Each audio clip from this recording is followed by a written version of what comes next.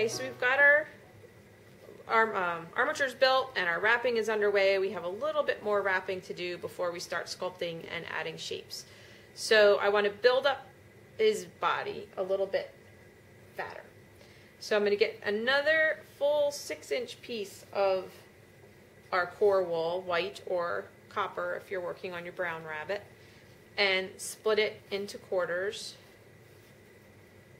This, the, the width of the roving varies. If you may split it into thirds, um, but it's better to start smaller anyway and add more.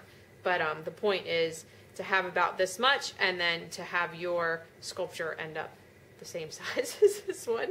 So if it looks skinny, put, put on some more wool. So I want to get him a little fatter as we get back towards his hind legs. So I'm going to concentrate the wool there. So probably do this twice. That was once. And I'll take another piece and do it again. Just get them fat. Depends on how fat you want your rabbit. Very fat. You like them fat, huh? Plump. Plump and juicy. That makes the best rabbit stew. Okay. Now we want to put a piece that's going to bring the leg together with the body. You might have like a kind of skinny spot in here. Um, so we can use this, um, one of these four pieces that we had. But I'm going to draft it out. I'm actually going to split it in half this way. So now I have two drafted out three to four inch pieces. And you just want to start on the body, go around the top of the thigh, and return to the body. I'm not even wrapping all of the way around and returning. I'm just I'm just like one simple underneath and then return to the body. And that just brings the legs and the body together. So I'm going to start on the body, go around the thigh, and return to the body. And then we got to stab it. Really try to just concentrate on making those thighs flat. And then we gotta stab it from the back, get all this extra fluff nailed down.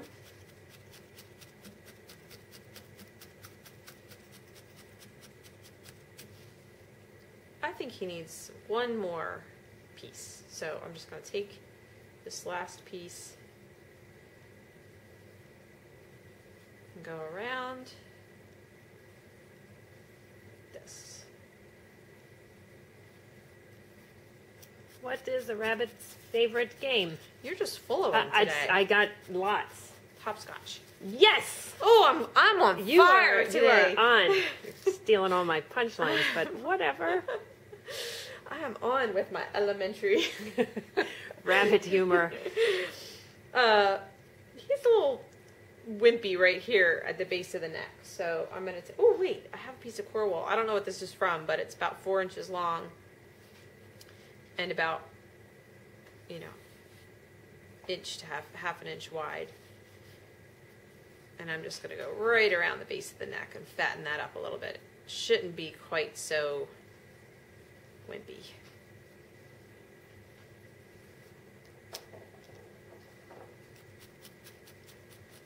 You really don't want them to have a lot of neck. If you're ending up with a lot of neck, morph it into head.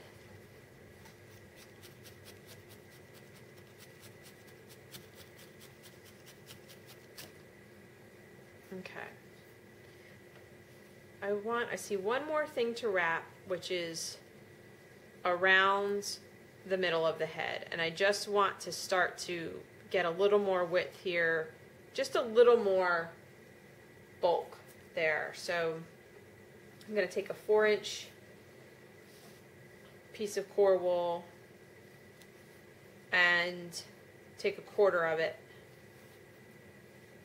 draft it out a little. This core wool is so fluffy. And then go around the head here a little bit. Right around the center. Now that I have this filled in like a crescent, I can put wool around like this.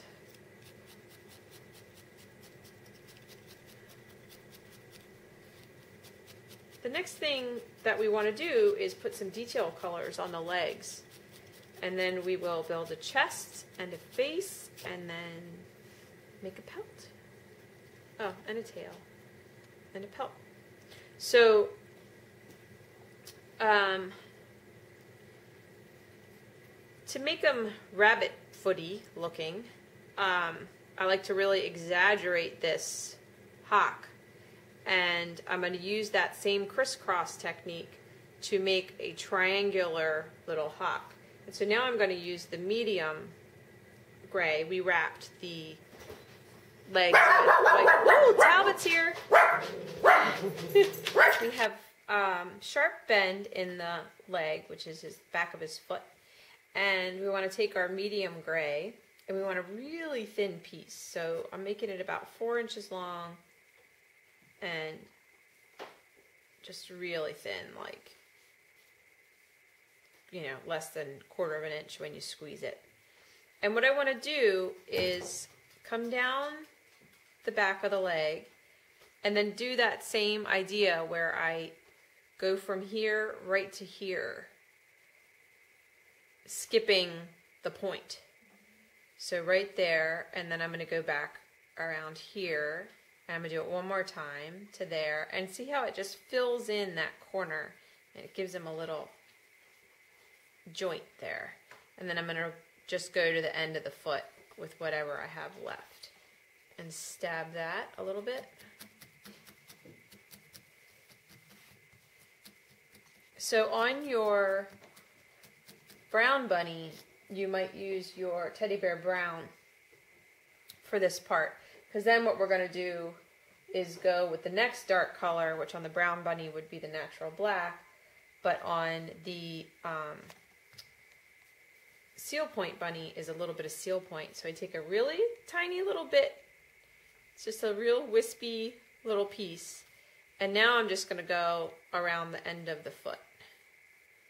And you can make your little foot, you know, bigger, smaller, try to get kind of a rabbit foot shape to it. So now I blend from the off-white to the medium gray to the seal point. And just to bring the off-white together with the medium gray here, I'm going to take some of the oatmeal or light gray and just go around this top area. Everyone's is going to be a little different. You might have to do something different to get it to blend, but you can get nice blends by just adding little bits of, of color. Real thin amounts. And it starts to starts to blend together. So I'll do the other one with you one more time. We have I am super zooming. Okay, we have our thin strip of medium gray. And going around the top of the leg, exaggerating that. I feel like we're shadowy now. Exaggerating that um, bend, and then doing the figure eight into the center of the bend. I'm going to take the rest down the foot, and then I'm going to add a little bit of seal point to the end of the foot.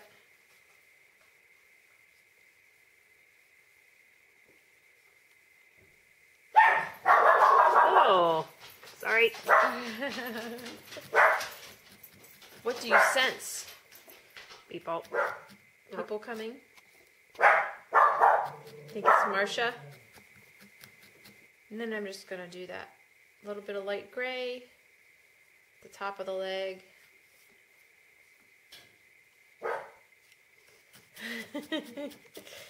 Milo, I'm glad you're on the lookout.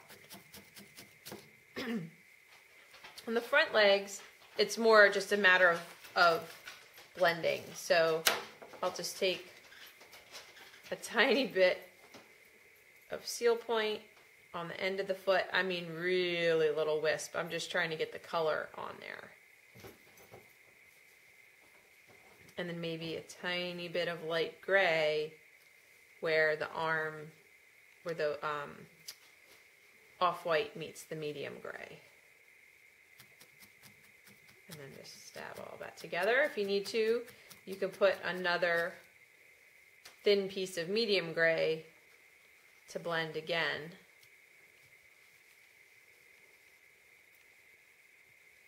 So on the brown bunny, this would be, you'd be working with um, copper and teddy bear brown and the um, natural black.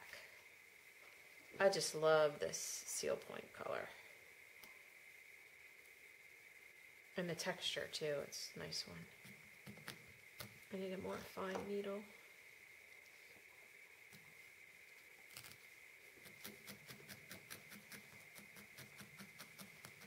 What do you get when you cross a rabbit with a leaf blower? Oh. I don't know. A hair dryer. That's bad. I didn't say they were good. All right. So our little legs are all blended and shaped. And now we can build the face and add our pelt. Let's um, let's make a little tail first. Let's just get that out of the way. So I'm gonna take a little bit of, I'm just gonna pull right from the end, off-white core, and then I want it to go from dark to light. I want it to have the same seal point color coloring. So I'll put dark, and then I'll put some white. So I like to put my dark and my light, and then I like to lay a thin layer of gray to bring them together. And if I need to, I can put, that was the medium gray, I can put a little bit of light gray too. And so that kind of just makes the transition from the light to the dark. And then you've got to flip it over so that the pretty colors are on the bottom. And I like to stab the center just to establish where it is. And then you can use the tool, it makes a great little tail. I like to fold the back, um, the top uh, sort of 1 8 inch in, roll it in, and then fold your wool in following the, um, the shape of the tool. I'm actually going to do the, the top angles first and pull it out just so I get that triangle shape. And then I'll just roll these in. And that just makes, when we flip it over, it makes a little braided tail. A lot of my seal point went into the center. Live and learn. And then I like to put on the bunnies a little white poof. Even on the brown bunny, I put a little white poof under his tail. So I take some of the top coat white, fluff it up, and then just kind of dab it a little bit willy-nilly into the center of the tail. Leave it a little bit fluffy. And then I just put them down felt. Now, if your tail ends up really big, you can cheat it smaller by scooting it, you know, farther onto the body, or you can pull some of this off. But you want to have this fluff to attach the shape. Whenever we make shapes that we're putting on, um, I usually create a finished edge and then leave a fringy edge to attach it. Just seems to be the way, way it goes, the way it works best. Okay.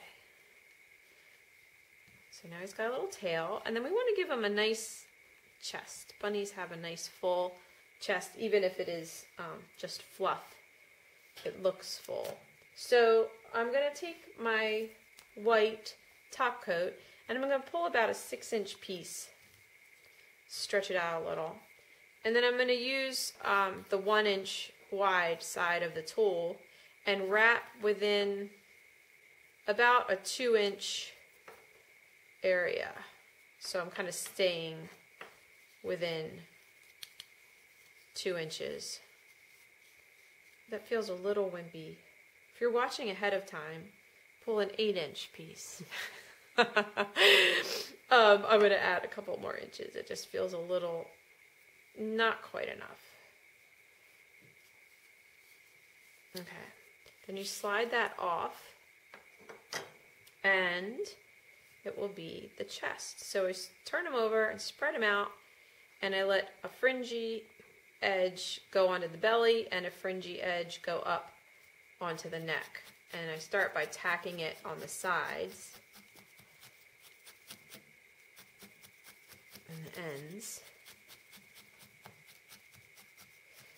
And if you're making a little doe bunny, uh, female bunny, you can actually give it a pretty big poof because they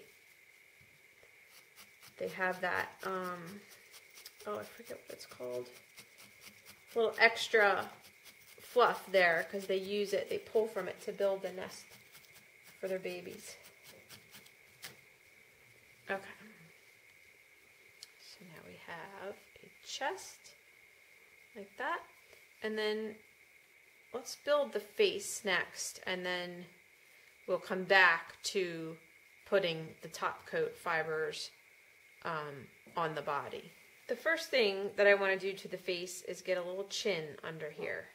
And I'm going to use the Zoli tool to do that. If you have a sharpened pencil, um, that'll work well too. And I'm going to use my white, take about a four inch, four inch piece, stretch it out a little, and then I'm going to start by going around the tool, round the rounded end, and then I'm going to go onto the facets of the angled end. And then the rounded end, and then crisscross over the pointy end again. And then slide that off. And then when I stab this to make the shape, I want to round this point in. So I want a nice round chin. Really want to keep all the fiber don't let it stretch out too much. You want to keep it all up in the end. And then I'm actually going to roll it in my hand a little bit because um, it's a little bit fat. There we go, just stretched it out a little bit. But we're looking for a nice little ghost shape here. Nice little bunny chin. Like that.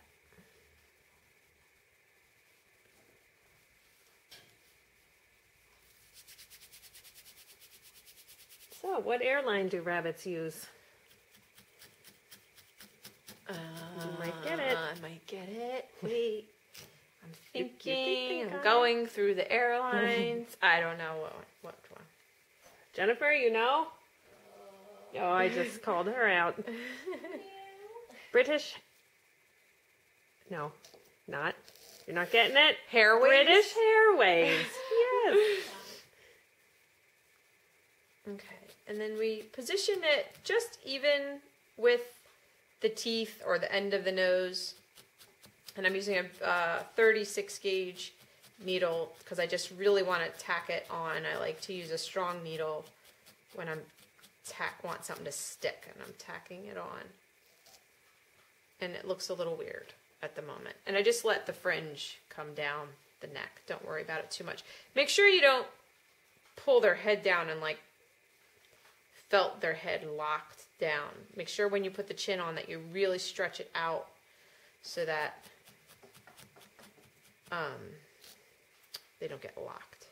Now we need to make, oh, you know what? I'm going to take my strong needle and I'm actually going to indicate where the eyes will go. This will be helpful. I think for a long time I was putting them too far back and too far down. So I'm going to make some stabs just in front of what would be the halfway line of the head. So here's the back half of the head. Here's the front half of the head. I'm going to stab right in front of that. And then the trick is getting it in the same spot on the other side. So I just basically made some dents.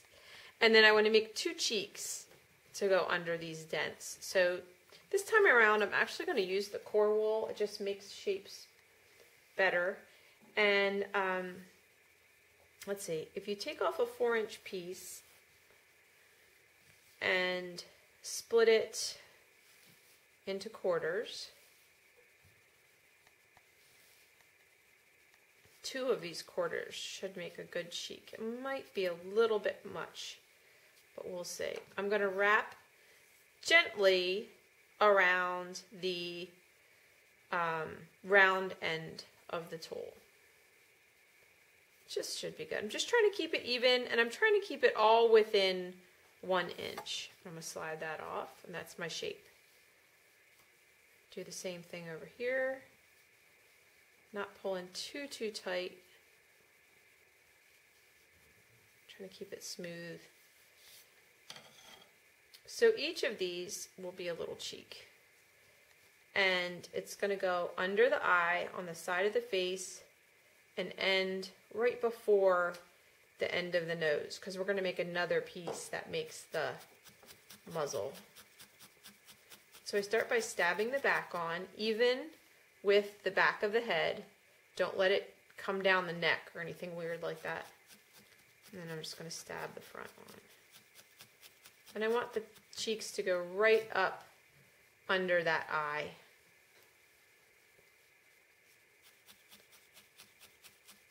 I've made the muzzle so many different ways and I keep I keep changing it and um, make sure you look down on your sculpture every once in a while like see how this one this this always happens to me the um the right side ends up farther forward than the back so I just kind of try to even them up with a little bit of stabbing. Don't know why that happens, just the angle I felt, I guess. So you can look at it from the top, you can look at it from the bottom, make sure it's all even.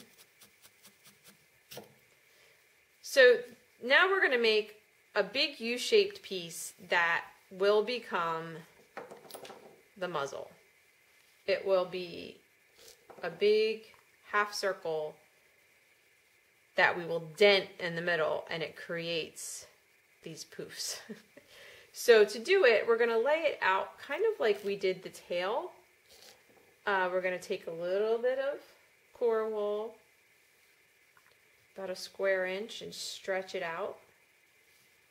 And we want it to have that same darker point. So I'm going to put the seal point at the tip this is thin pieces, about half an inch by two, two inches. What we're going to end up with is a two inch square. So this is, this is two inches. Let's see. Yeah. And I don't count the fringe. If I count the fringe, it's looking more like three inches, but I'm really, I want a dense two inch square. So then I'm gonna put some of the white, real thin layer, and now I wanna blend the two together. So I'll put some of the medium gray, that, and then just a little bit of light gray, tiny, tiny bit, like that. And I'm gonna just make sure everything stays where I put it. So I just stab it a little bit before I flip it over. Now this time, because of the way the tool is shaped, um, I can lay it on there to help show you the size of the shape. I want to roll that end back, and I'm actually going to stab that a little bit. And then I'm going to stab a half circle that goes about half an inch wider than the tool. The tool is a inch wide. Oh, I think we're getting a delivery. I hear something. All right, I'll try to stop. Okay, so I folded the top edge back. And now I'm going to roll these edges in. Roll is not a good word. Fold. I don't want you to roll like a tight little bun. I want you to just let the fibers come into the center. And you should end up with a nice broad half circle. So let's measure it. It's almost two inches wide. It's about an inch inch and a half, inch and three quarters wide. And the reason it needs to be so broad is because it needs to go all of the way to the sides of the mouth on each side. So I felt that a little bit. Let me just stab it with this thing. You want this, you don't want it to be totally flat like a pancake, but you want it to be really well felted um, on this end. And then it's going to go, it's hard to show how this goes. Like I said, I want it to come to each side of the chin. And now he looks like a platypus rabbit. But we have this to shape. And that's what we're going to do. So I'm going to tack it down to make sure it doesn't come off center. each side all the way around. It takes a little bit of stretching. And you let the fringe encompass this cheek. That helps get some white on the cheek, blend it together. If it was the caramel bunny, it would be. If it's the caramel bunny, we would have a copper. Yeah, we would have the copper core coming back, and you would layer the copper. You would layer the copper the teddy bear brown to the natural black. Okay. Yeah. Okay, so now we have this weird, like, humongous upper lip. And I'm going to take a really strong needle, strongest you have, and stab a dent in the middle. Like this. And now we're starting to shape the rabbit's muzzle.